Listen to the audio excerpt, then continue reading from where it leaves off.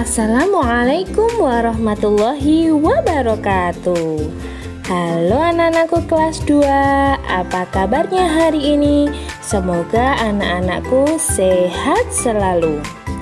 Hari ini kita akan belajar bersama Tema 2, subtema 2 Pembelajaran yang kedua. Tentang benda padat. Kalian siap? Ayo kita mulai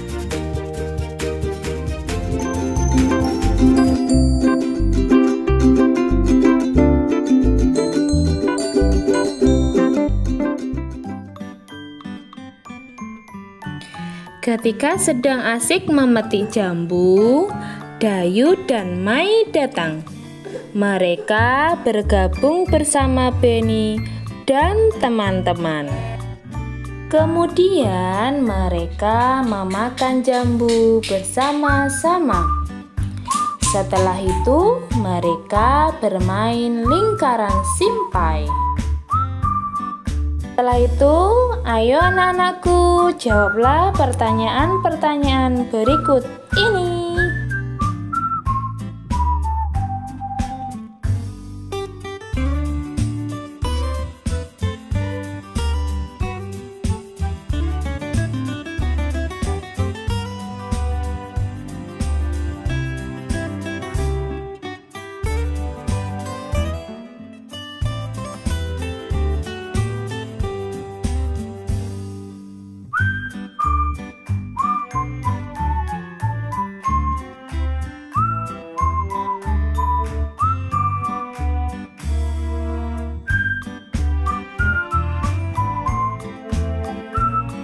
Setelah anak-anakku selesai mengerjakan pertanyaan-pertanyaan tadi, sekarang mari kita simak penjelasan dari Bu Guru tentang benda padat.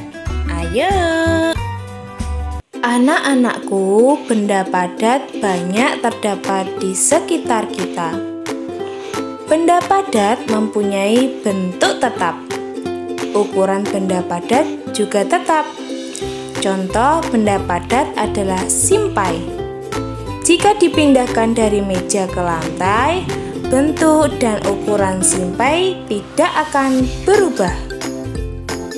Nah, berikut ini ketika simpai diletakkan di atas meja dan diletakkan di lantai, bentuk dan ukurannya akan tetap sama.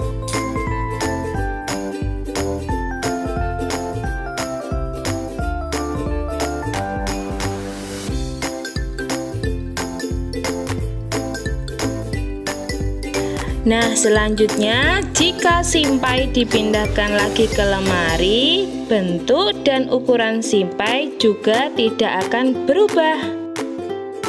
Adapun dipindahkan ke berbagai tempat, bentuk dan ukuran benda padat akan selalu tetap.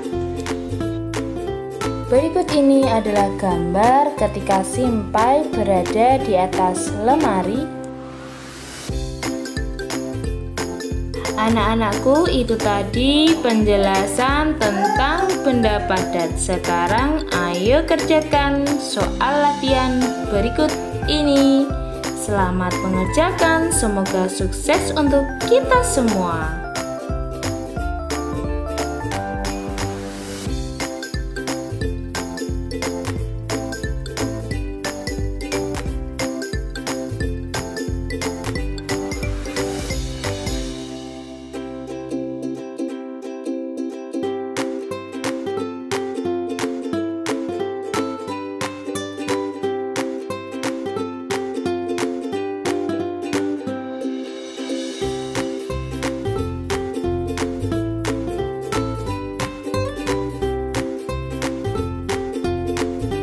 Anak-anakku, setelah tadi kalian telah menyimak penjelasan tentang benda padat.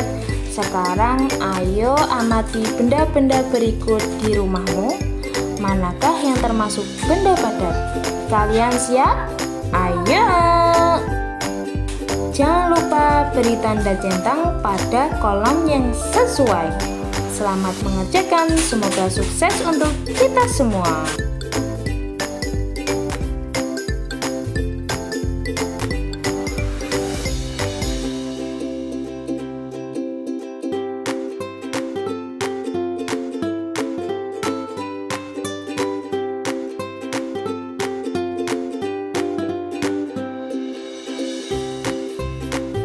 Pernahkah kamu bermain di rumah teman seperti yang dilakukan Benny?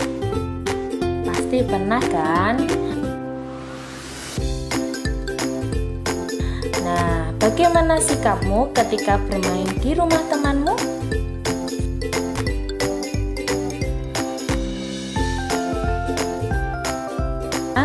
Ayo bantu Bu Guru untuk memberi tanda centang pada sikap yang menunjukkan mematuhi aturan dan tanda silang untuk sikap yang tidak menunjukkan mematuhi aturan.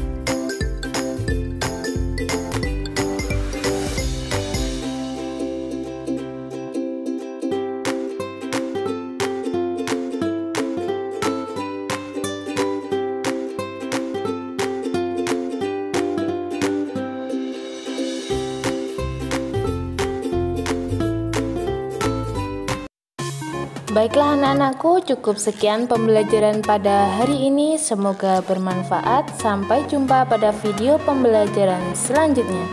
Semoga bermanfaat. Tetap semangat belajar dari rumah. Dadah. Assalamualaikum warahmatullahi wabarakatuh.